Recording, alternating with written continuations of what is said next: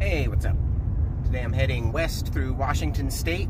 I'm gonna head to the little town of Aberdeen, known famously as the birthplace of Kurt Cobain, his hometown. There is actually a, a memorial and some stuff there, so I'm gonna head that way and check it out.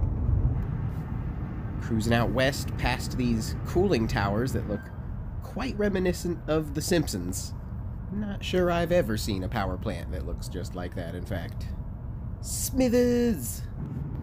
Okay, just arriving in Aberdeen.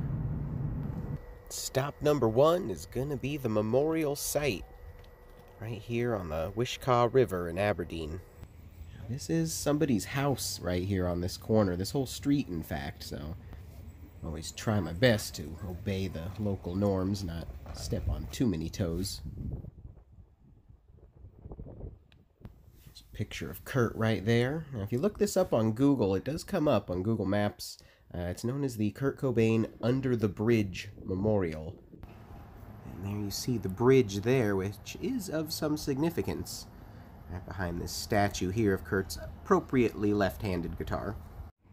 Now, it has been reported that after dropping out of high school here in Aberdeen, Kurt had been thrown out of his mother's house. His parents were divorced, and had gone through bouts of homelessness where he actually slept under this bridge right here.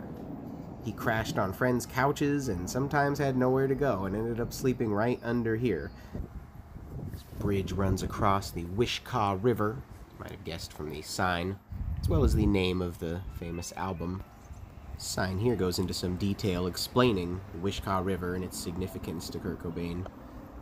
Even states that one third of his ashes were spread right here in this river. There is a little appropriate memorial here on the ground. It's a pretty bad glare. I'm gonna try to try to guess you can read it.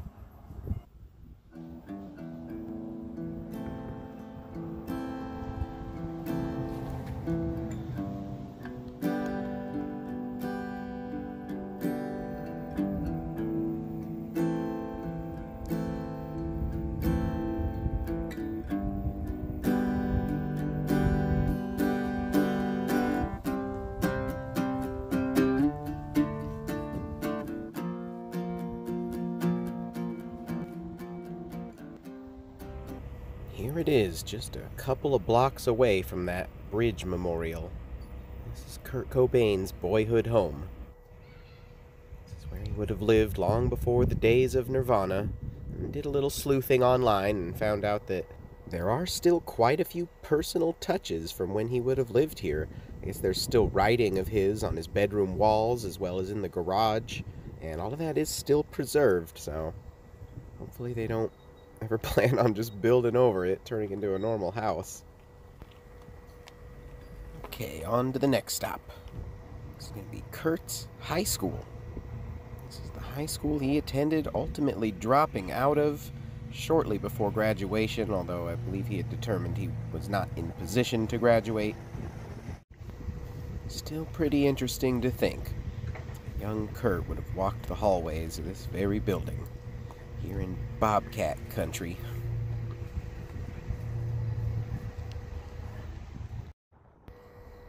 Pretty day here in Aberdeen.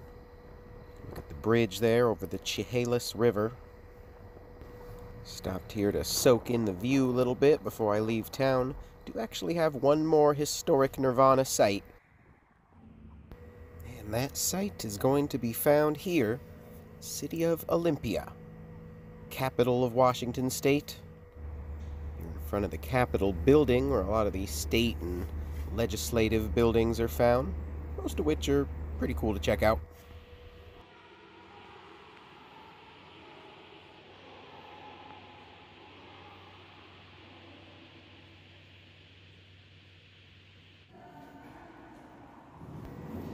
There is the head of Old George there after which the state gets its name, naturally. Some of the grounds here are really impressive. Nicely manicured lawns, sorts of cool looking buildings and statues.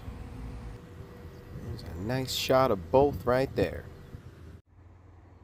And just beyond the Capitol building is the appropriately named Capitol Lake.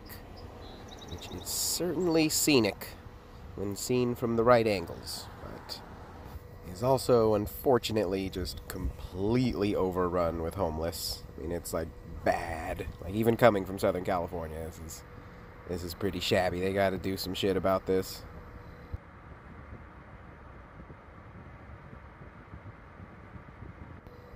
Yeah, no exaggeration.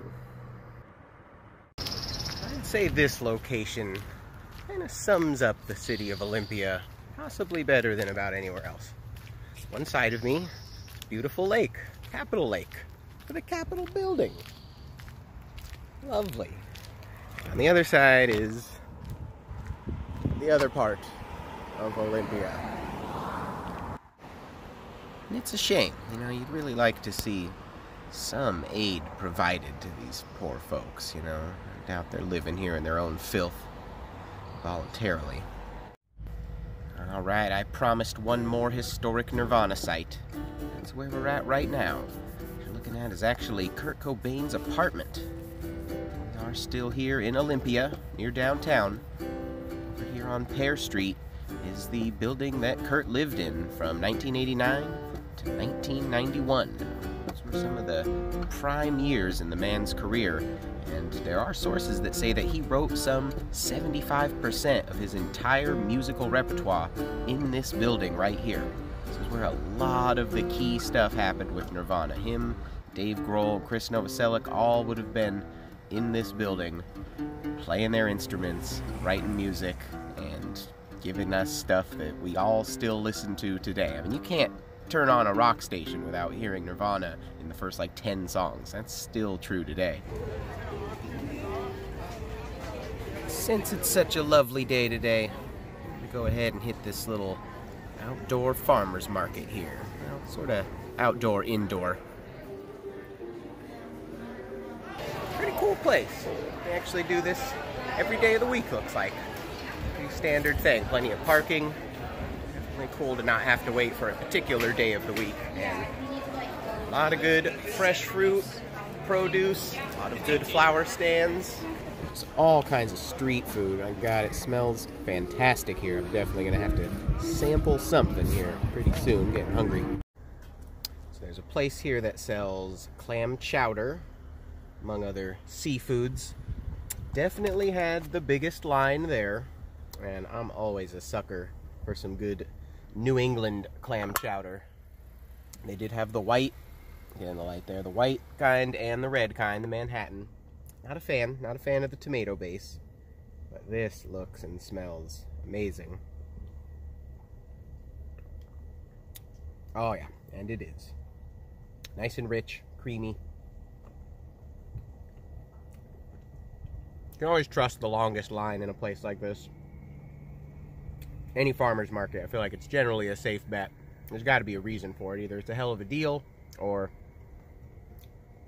just some real tasty eats. Mm. A lot of cool stuff in there, though. Might go through, do one more lap. Yeah, so I was mistaken. It's actually Thursday through Sunday going to be the days for the farmer's market. So not quite an everyday thing, but pretty cool. Nice part of town, too. All this random street art everywhere. So figures place to check out. Got some pretty good clam chowder. Bouquet of flowers so damn fresh there are still bugs in them. Got to wrap up my list of historic Kurt Cobain sites. Appreciate you watching with me and catch you next time.